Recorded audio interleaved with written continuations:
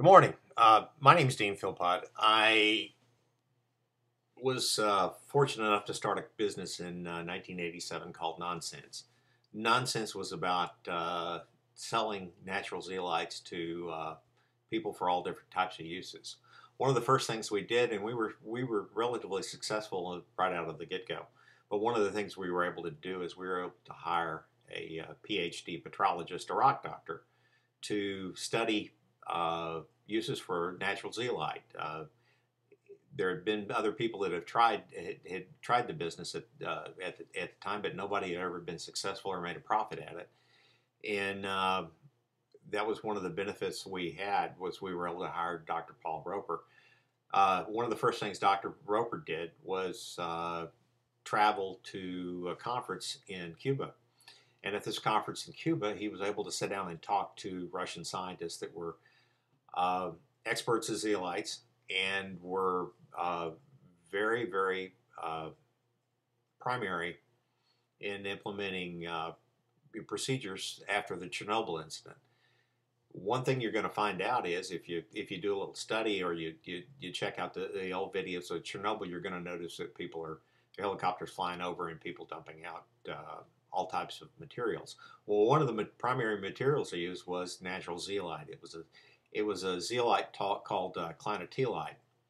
Uh, was also added to uh, things like candy bars for uh, children to uh, help them eliminate the radioactive nuclei from their body. It's very, very effective in, uh, especially with cesium. and they also used it. they also used it to filter milk. they added it to animal feed in places like Lapland to uh, remove uh, remove the radio uh, radionuclei from the uh, uh, bodies of the of the animals, so they could continue to use the milk and and the the meat byproducts. and this this clinoptilolite is is real interesting stuff.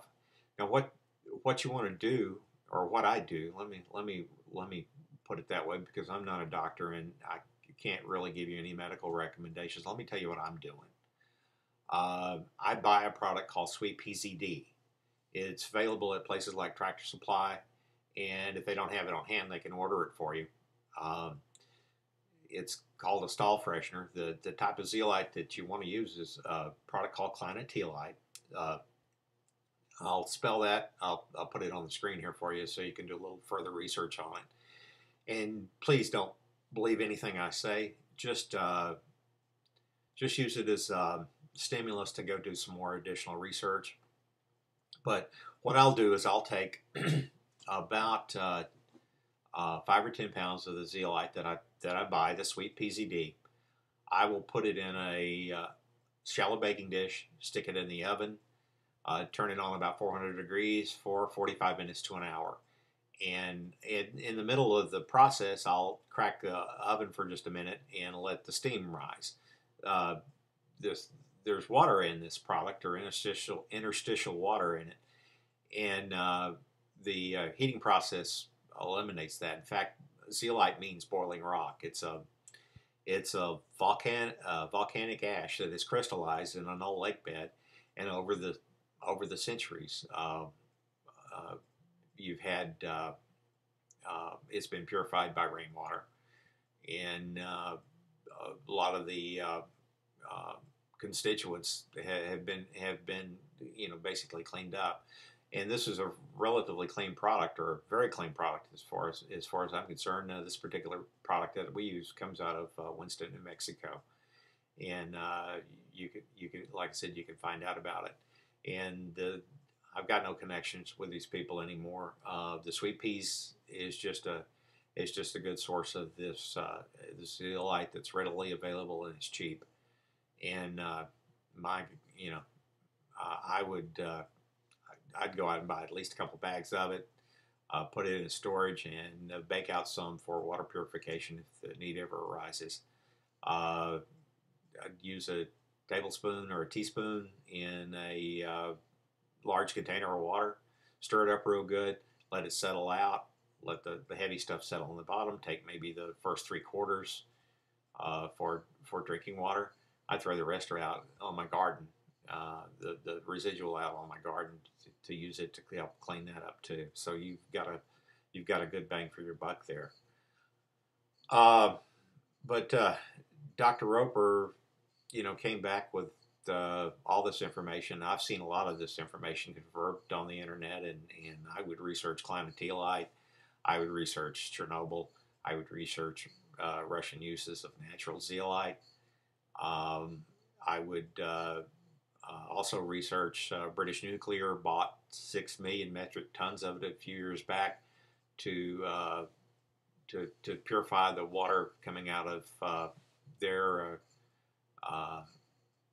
nuclear plants, and uh, and it, that particular product was modified a little bit, but I wouldn't worry about that because uh, your effectiveness won't be as high on uh, strontium, but uh, uh, it takes very little. It, it, it, would take a very small amount to uh, filter it out.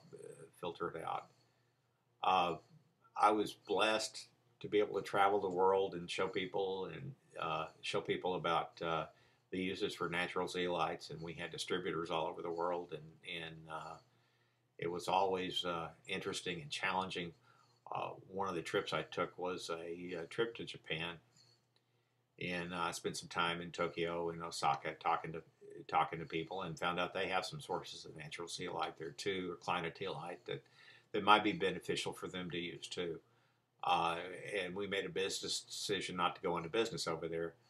But uh, uh, it was a very, very uh, interesting. It was a very, very interesting trip, and uh, I hope to see them use a lot of natural zeolites to try to solve some of these problems and uh, get their get their food food business back into shape.